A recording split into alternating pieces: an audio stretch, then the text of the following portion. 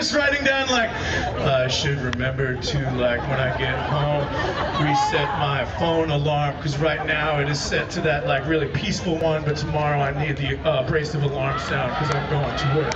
Anyway, um, all right. I'm trying to remember that you're dancing in the center of a large clearing in a gigantic field. Well, now you're showing him. What could this? Oh, this is amazing. Um, okay, let's see if this works at all.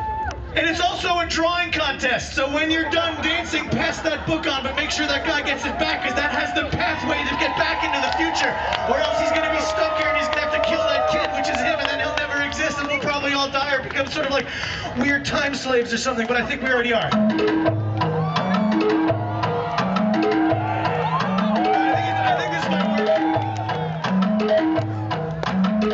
The two best dancers in Hong Kong!